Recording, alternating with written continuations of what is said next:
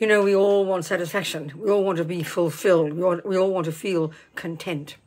So our usual method, of course, to get that is that we think we'll get it when we get something, whether it's the cake, the music, the next walk, the next movie.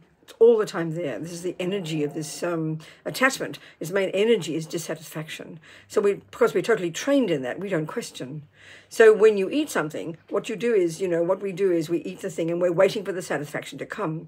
So the pleasure does come in the first mouthful. It's probably the best pleasure, but automatically, immediately, the dissatisfaction is there. It's not enough. So that leads to the second cake, the second mouthful. And we think maybe that will do it. And you get to the second piece, but still satisfaction hasn't come. So then we're hoping, keep eating, it'll come eventually. But all we know is we end up with a stuffed stomach. And that's not satisfaction. That's not satisfaction. So satisfaction is a mental state. And how do you get that? Not from cake. This is the thing. It's from it's from training the mind. It's a mental state, so we have to train ourselves. It's a conceptual thing. So we have to learn to be content. Yes, have the cake, but don't think satisfaction will come.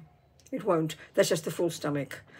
The we need to train our mind to be content, which is an enormously difficult job, but it's possible because we have a mind, we have thoughts, and we can break these old habits.